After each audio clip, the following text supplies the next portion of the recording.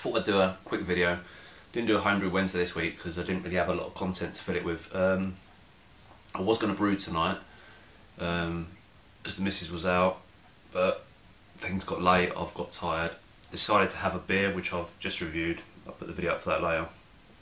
It's quite a strong one, so I think I'll just enjoy that and chill out. But I have been doing a few bits today. Um, I'll start with some freebies. I'm going to put a picture up probably at the end of this video or somewhere in there. I got a call or a text rather in the week asking if I wanted some uh, free barrels or casks, and um, I weren't quite sure what to expect when I was going to get them.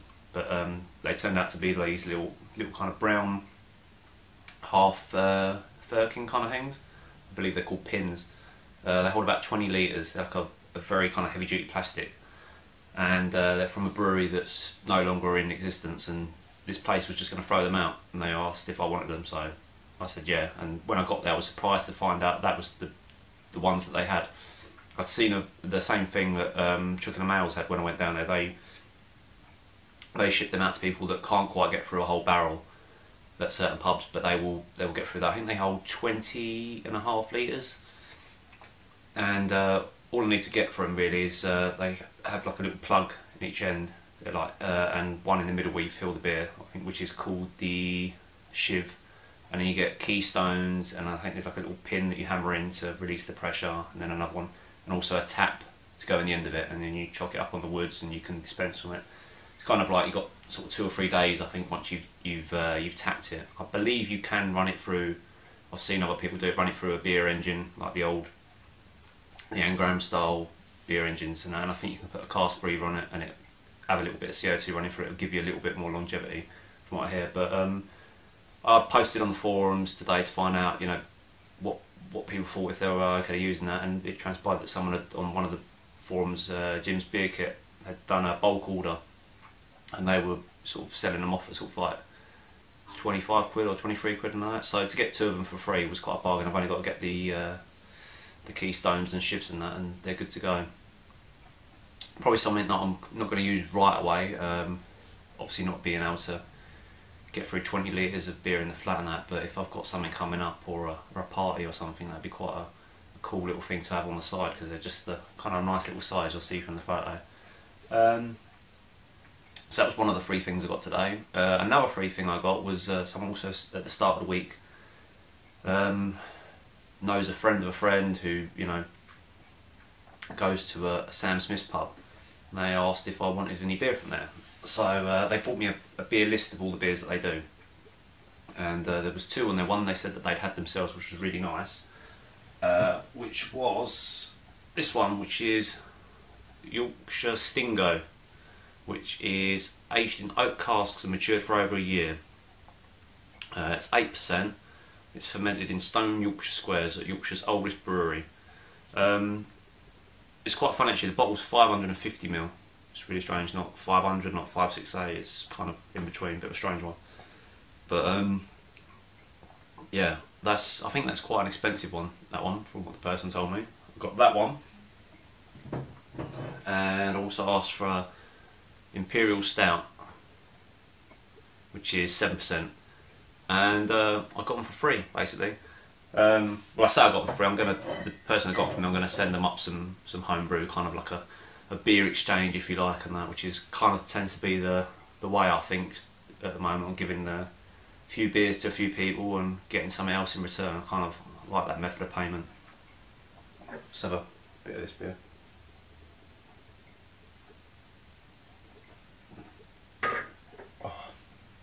So getting on to what I was, um, my main thing with brewing, um, I'm doing the brew in the bag, or I was doing the brew in the bag at the flat.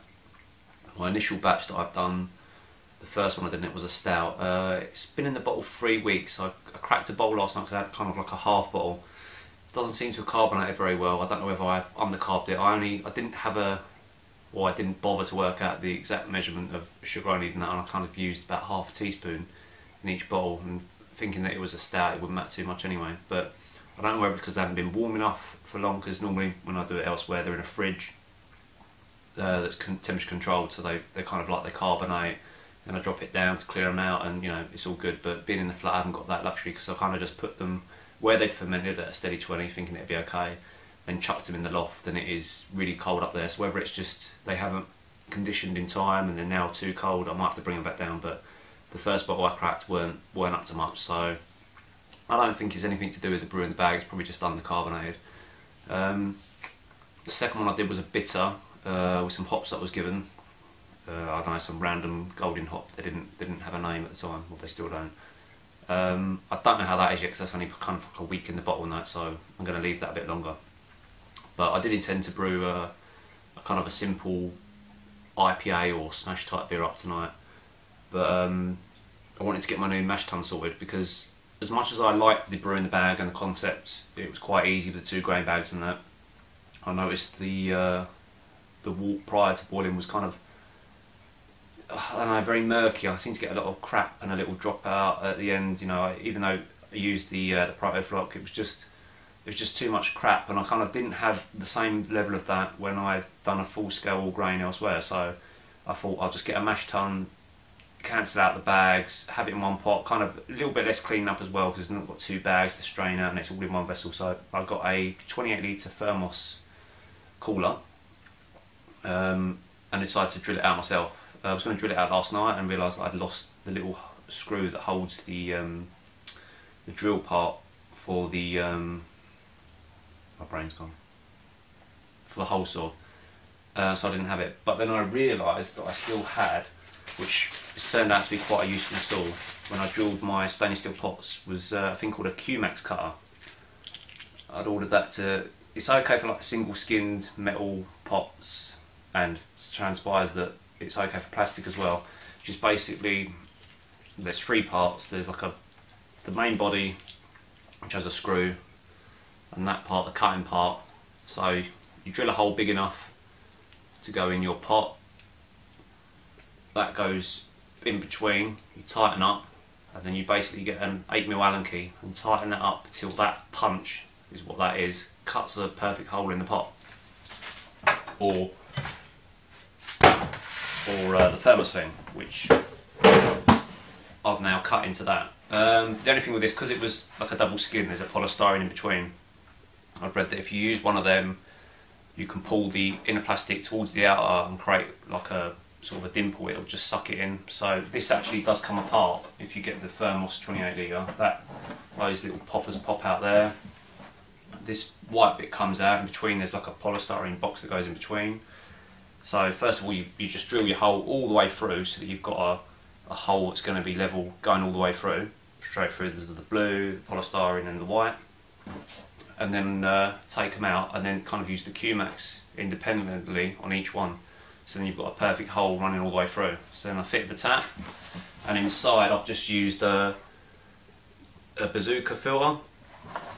Now I've read on a lot of places that they collapse under the weight of the mash and that, but I'm only doing 10 litre batches, so I'm not really concerned about too much grain being on top of that. But it transpires at the home brew shop that do the igloo 45 litre now use that instead of the false bottom. I think uh, Hammer Brew has the igloo and it's got like the false bottom, the, the, the circular plate and the tube running between.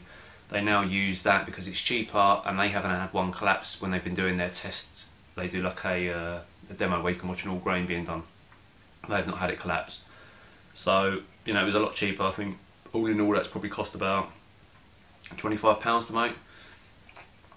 And that's done. I mean, that'll hold 28 litres, you know, whatever grain up, but I'm only doing 10 litre batches. Um, just a thought to um, relax its own brew time.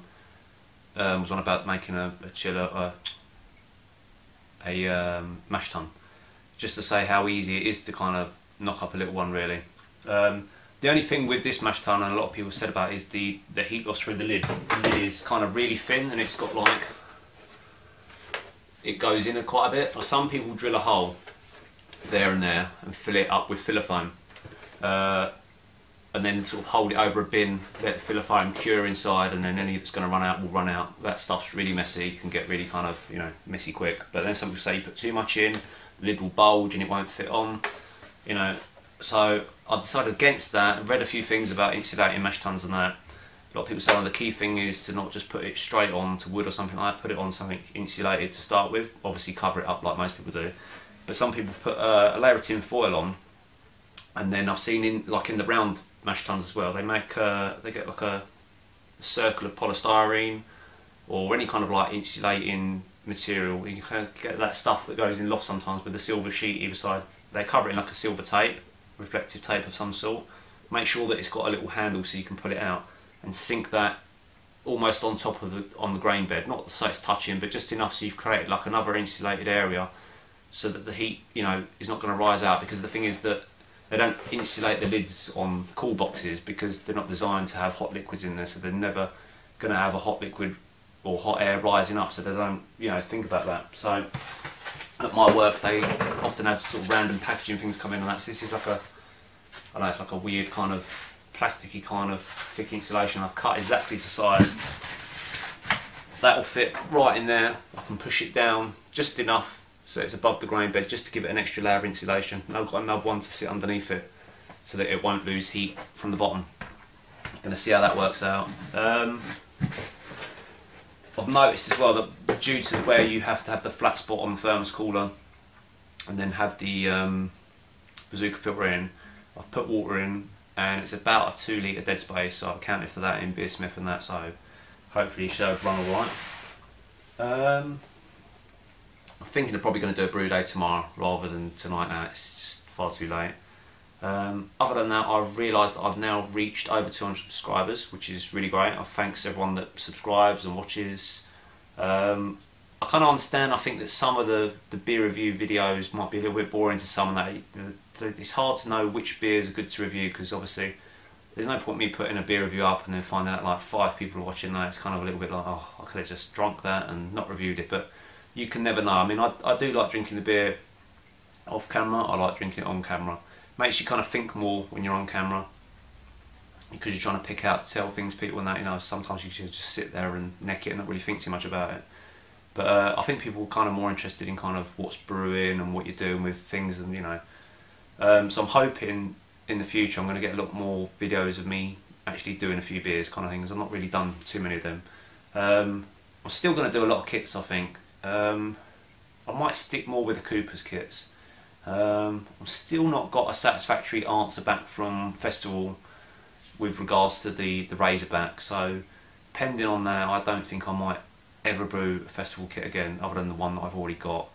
Um, just because if they can't be bothered to at least answer me back, why should I bother to buy their product? I mean, you know, that's not customer service, is it? You know. But anyway, I think I'll probably do a lot of Cooper's kits. Um, I might even try and do the one that I gave Ben the hoppy pale because Ben really liked it. I liked it. It's a really simple recipe to do. It came out, you know, quite nice. It might be a good one to show people and that. And uh, I don't know. People seem to like watching people brew. I mean, I I tend to watch a lot, even though I know how to do it and I've done it myself. It's just I don't know. It's quite interesting to see how other people do. it. You often learn things that you don't do, or you know, who knows. Um, so thinking about the, the 200 subscribers, uh, thanks to everyone that does subscribe.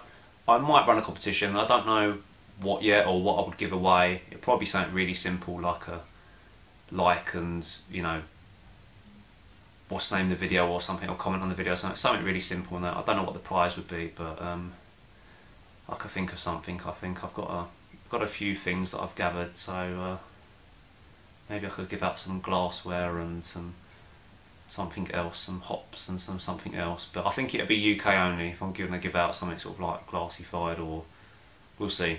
So, till next time, cheers.